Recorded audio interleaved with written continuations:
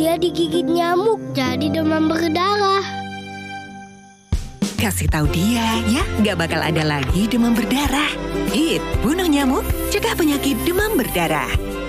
Hit, bunuh nyamuk seketika.